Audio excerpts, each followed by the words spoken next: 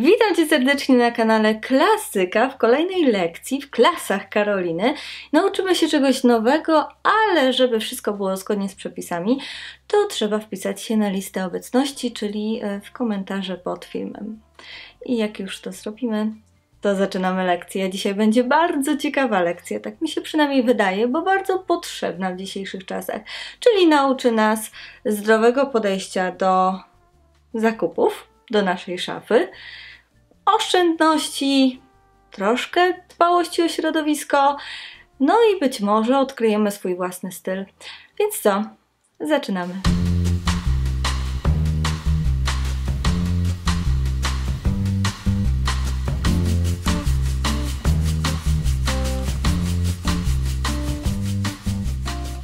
Jeżeli jesteście ciekawi tego, jak się rozpoczęła moja przygoda z Ciucholandami, to już Wam opowiadam. Słuchajcie, to było bardzo dawno temu. Wiem, że pierwszy raz wybrałam się do takiego sklepu z moją siostrą i z jej przyszłą teściową. To było dawno temu, nie pamiętam, czy byłam w gimnazjum, czy jeszcze byłam w podstawówce, ale to był pierwszy raz. E, pojechałam tam z kilkoma złotymi. Tak naprawdę jakieś tam pieniądze sobie odłożyłam. Wydawało mi się, że za to to ja po prostu pół sklepu tam na pewno wykupię, że znajdę rewelacyjne rzeczy, po prostu będę miała szałową szafę że wszystko będzie super. Mm, zakupiłam wtedy bluzę. Bluza, nie pamiętam z jakiej firmy była.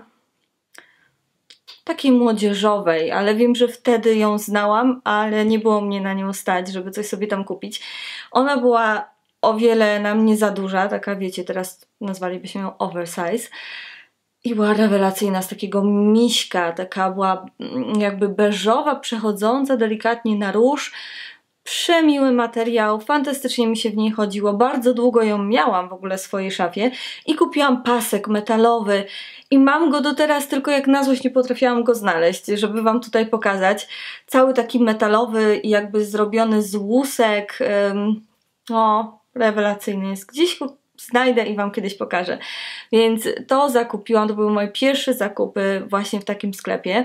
Później miałam chyba jakiś przestój, natomiast kiedy chodziłam do już y, szkoły kosmetycznej i już y, rzuciłam się na głęboką wodę i pracowałam przy różnych sesjach zdjęciowych, brałam też udział w mistrzostwach, zgłaszałam się gdzieś nie miałam pieniędzy na to, żeby kupować materiały, kupować mnóstwo rzeczy, przerabiać je, tworzyć stylizację, stroje, a chciałam, żeby te y, zdjęcia były bardzo kreatywne, żeby wszystko tworzyć samej od podstaw. Y, oczywiście najważniejszy był makijaż, sama charakteryzacja, no ale chciałam te wszystkie dodatki również tworzyć, więc zaczęłam chodzić właśnie do second handów, bo mamy tam bardzo dużo zawsze różnych materiałów, um, też różnych rzeczy, które można przerobić, przeszyć, sprayem przemalować. Słuchajcie, to teraz tak robię, uwielbiam to, bo jest to o wiele tańsze, możemy dać drugie życie, stworzyć coś fajnego, kreatywnego, uwiecznić to jeszcze na, na fotografii czy na e, filmie i niewiele nas to kosztuje, a te rzeczy nie idą po prostu do wyrzucenia, tylko wykorzystujemy je ponownie. I tu jest właśnie ten wielki plus, słuchajcie, tym bardziej w obecnych czasach. Kupujemy często jak nienormalni rzeczy, których w których później nie chodzimy. I w ogóle ich nie potrzebujemy, kupujemy, bo są fajne, kupujemy, bo są modne, kupujemy, bo skusiła nas reklama, e, kupujemy bez myśli o tym, jak one zostały wyprodukowane, gdzie one zostały wyprodukowane, ile tak naprawdę ten um, ubiór nas kosztuje ile on kosztuje ogólnie, ta cała produkcja, jaki to jest materiał, bo tutaj ja się bardzo skupiam na tym, żeby nawet te rzeczy, które kupuję um, używane w second handach, żeby one były świetnej jakości, z dobrego materiału, bo wiem, że w sklepie normalnie zapłaciłabym za to bardzo, bardzo dużo, a często te rzeczy są jak nowe w używanej odzieży. Ja nie mam z tym problemu, przez to, że no nie jestem jedynaczką, mam starszą siostrę, mam też bardzo dużo kuzynek, to są takie moje jakby przypisane siostry, wychowywałyśmy się wszystkie razem i zawsze było tak, że jak jedna z czegoś wyrosła, no to ja to wszystko dostawałam, one były starsze, ja się często nie mogłam wręcz doczekać tego, że coś mi się u nich podobało bardzo i tak, żeby już tego wyrosła, żeby już to było jakoś za małe, żebym już to wreszcie dostała, więc to są ubrania, które się pierze i ja nigdy nie miałam problemu z tym, żeby przekazać przekazywać y, ubrania dalej. Do teraz tak zresztą y, robimy w rodzinie. Jeżeli coś nam nie pasuje, w coś się już nie mieścimy, to po prostu dzwonimy, słuchaj, nie chcesz tego. Moi chrześnicy teraz najstarszej swoje ubrania przekazuje, bo no rośnie jak na drożdżach, ona już jest wyższa ode mnie, taka laska się po prostu zaczyna robić, więc wiecie, no jak mam coś, co ja już nie mieszczę, a to naprawdę jest dobrej jakości, jeszcze jakieś, wiecie, markowe, fajne rzeczy, to dlaczego nie? Ona i tak wyrośnie z tego po prostu za moment, za chwilę i będzie modelką wybiegową, bo ma już takie długie nogi. Uuu, naprawdę, to po dzieciach widać, jak się starzejemy, ale to nic. Więc to jest bardzo duży plus. Po prostu dajemy ubraniom drugie życie, nie kupujemy ponownie czegoś w sklepie. Nauczyłam się tego, że mm, robiąc zakupy w second handzie, nawet jeżeli ja tego akurat nie potrzebuję, kupię sobie jakiś sweterek, ja go wykorzystam, ja wszystko noszę to, co ja mam, ale za te zaoszczędzone pieniądze, których nie rozwalam w sklepie co tydzień, w sieciówkach i tak dalej, mogę sobie kupić raz na jakiś czas porządną torebkę, ładne buty, które mi się podobają, wiecie, jakieś naprawdę konkretne, jakieś firmowe, po prostu coś, co bardzo bym chciała mieć i wiem, że w tym będę chodzić bardzo długo. Torebek to ja mam kilka, chyba z cztery. W tym w dwóch, trzech chodzę yy, tak na co dzień i mam je już bardzo, bardzo długo. Niektóre torebki mam kilka lat, bo są naprawdę dobrze wykonane, z dobrego tworzywa. Y, zapłaciłam za nie więcej, ale chodzę w nich non-stop. Nie kupuję sobie każdej torebki do nowych butów, czy odwrotnie. Buty lubię, ale też takie, w których ja po prostu często chodzę, więc wolę po prostu zainwestować w to i wiem, że one będą ze mną bardzo, bardzo długo. Nie wyrzucam um, rzeczy często, więc to jest naprawdę fajna oszczędność i, i taka, takie małe ziarenko do tego, żeby nasza planeta była trochę zdrowsza bo nie, będzie, nie będziemy produkować po prostu aż tyle śmieci. Wykorzystujemy to, co już kiedyś ktoś stworzył i w tym chodził. Więc no. No i słuchajcie, ten ostatni punkt, czyli wyjątkowość, po prostu wyjątkowość, bo wiecie, że ja bardzo często chodzę na eventy, różne imprezy. Słuchajcie, gdybym ja miała kupować za każdym razem jakąś nową sukienkę, no bo umówmy się, no nie za bardzo to dobrze wygląda, jak po prostu co event, co, codziennie, czy jakaś impreza pokazujemy się w tym samym, tak? Jednak jakieś zdjęcia, chcemy też wrzucić coś na Instagram, na pamiątkę, no tak wygląda życie influencera, youtubera, czy osoby, która po prostu kocha makijaż i e, w takich też bardzo artystycznych fashion kręgach się obraca, więc lubię się wystroić, ale niekoniecznie chcę wydawać milionów na ciągłe kupowanie nowych sukienek i całych stylizacji. A tak bardzo mnie cieszy, kiedy mam świetną sukienkę czy stylizację, idę na jakiś event już tyłu, wow, w ogóle skąd to jest, co to jest za firma, skąd...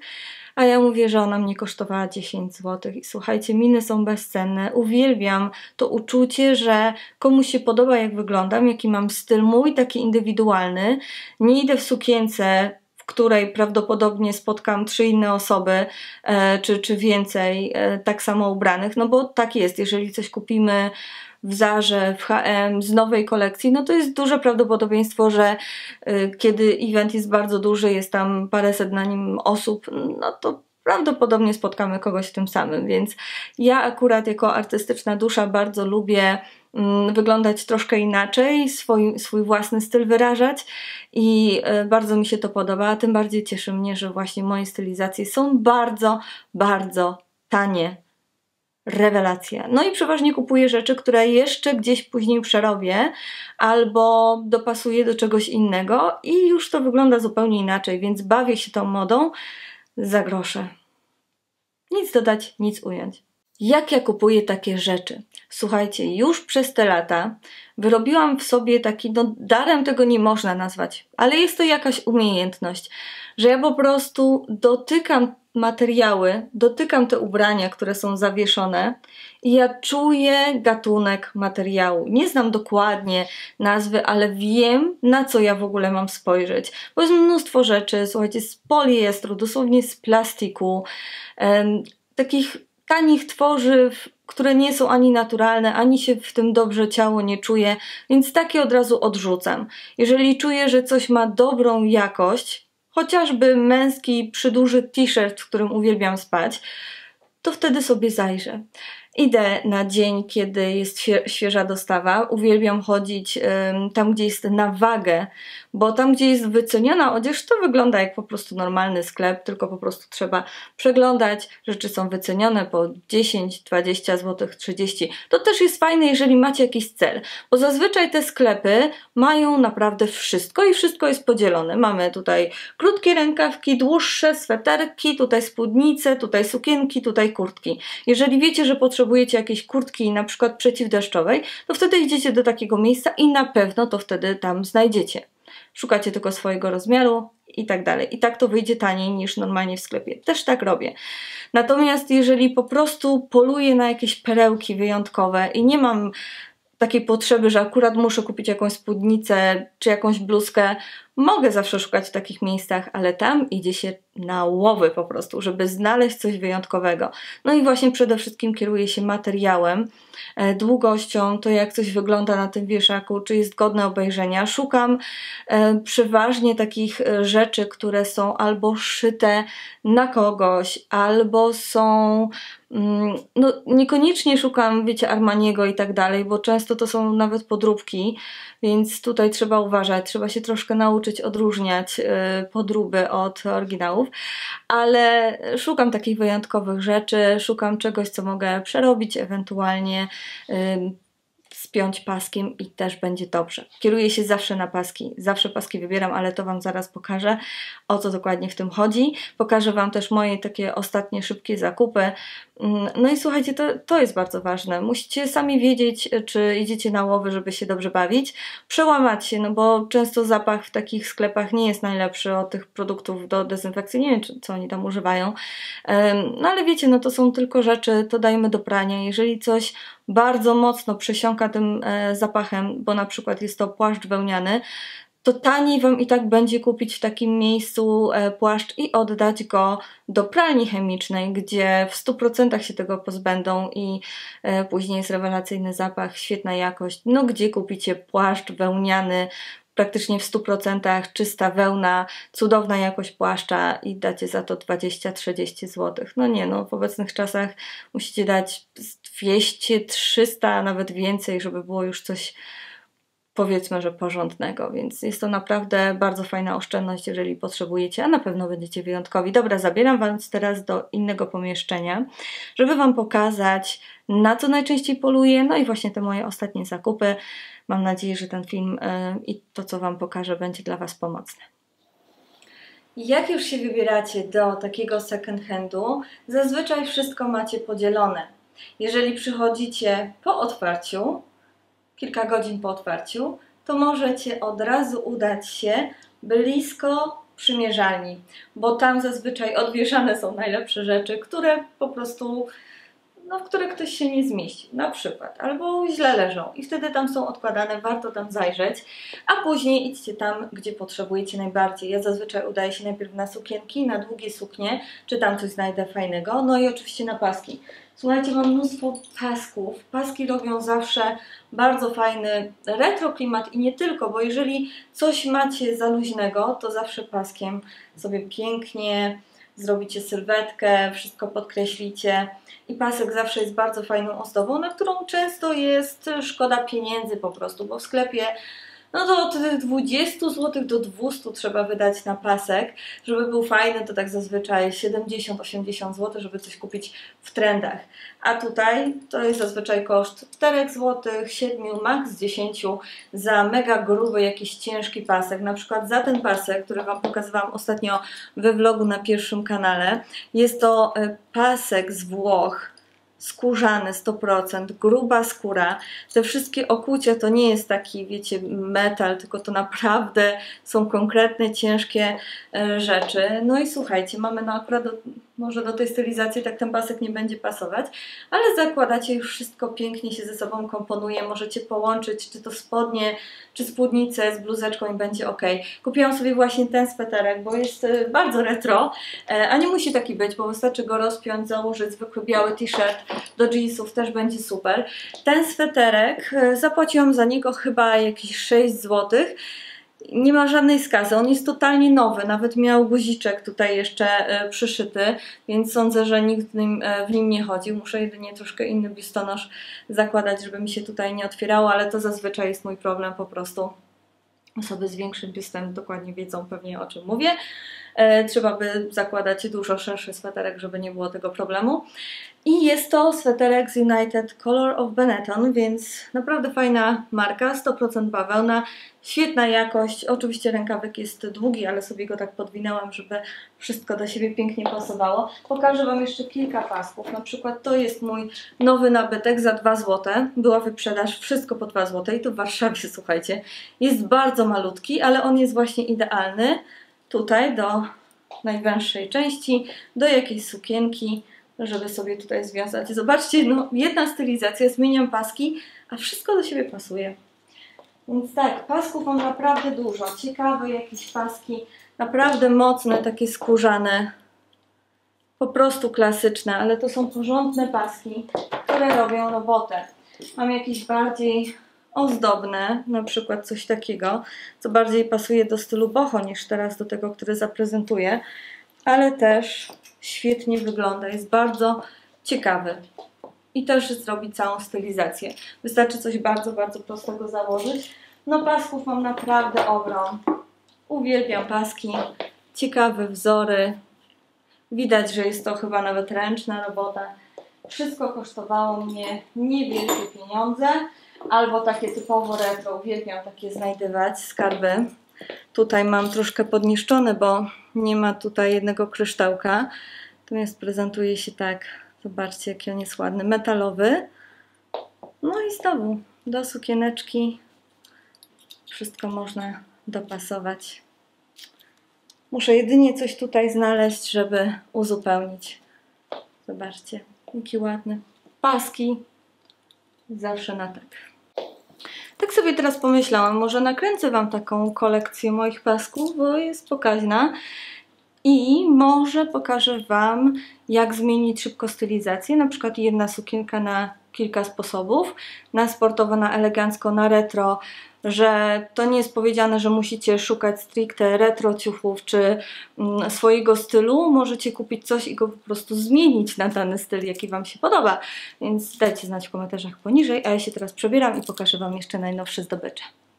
To jest ciekawa zdobycz, tylko jeszcze jej w żaden sposób nie przerabiałam.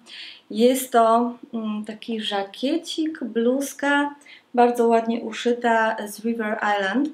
E, nie ma już tego sklepu u nas w Polsce, ale w Ciucholandzie ciągle jest na chodzie.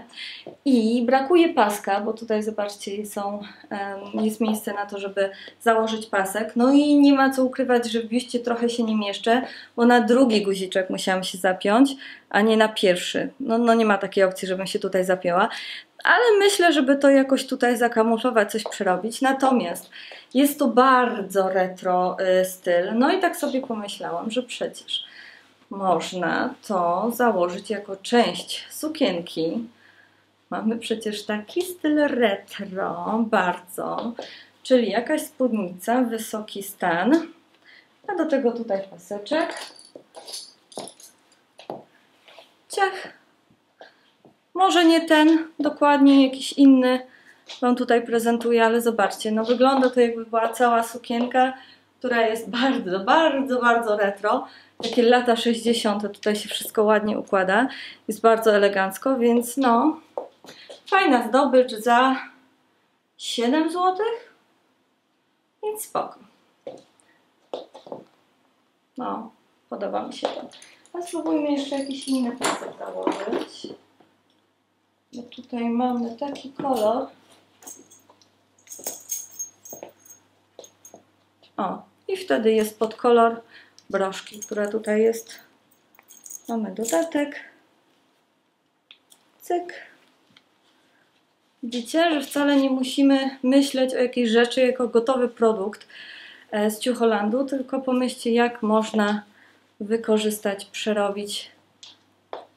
Moim zdaniem wygląda to naprawdę świetnie, więc pewnie gdzieś na jakiś event kiedyś się wybiorę właśnie w takim stylu. Spódnica nie jest Ciucholandu, spódnica jest AliExpress.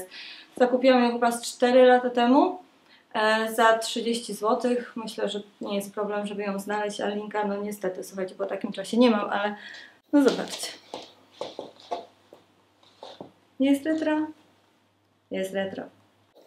Tej samej firmy sweterek za 2 zł, bo również był e, w tym miejscu, gdzie była wyprzedaż. No i też można go nosić na styl retro. Jest fajny, taki świąteczny już, więc no słuchajcie, 2 zł. Też jest w bardzo, bardzo dobrym stanie. Też można go nosić jako stylizację retro po prostu. Do jeansów też się świetnie sprawdzi. Takie rękawki mi się podobają, są bardzo wygodne. Takiej pani domu, która wiecznie jest zapracowana i zawsze coś musi robić, myć naczynia, przygotowywać coś gościom, więc tak. No i jeszcze Wam jedną taką rzecz pokażę, która nie jest raczej do chodzenia na co dzień, ale chcę Wam pokazać, że takie rzeczy też znajdziecie. Znajdziecie tam mnóstwo przebrań na Halloween. Po prostu jeżeli lubicie takie rzeczy, to spokojnie właśnie w takie miejsce się uderza, bo kupuje się to za grosze i nie trzeba, wiecie, gdzieś na stronie internetowej przy Allegro czy gdzieś kupować kostiumu za 300 zł, żeby pójść na jedną imprezę. Wystarczy wybrać się do Ciucholandu i tam zawsze coś znajdziecie. No i mowa o takim gorsecie. On nie jest dopasowany, nie jest y, na mnie, ale sądzę, że go kiedyś dopasuję i wtedy będzie się prezentować mniej więcej tak.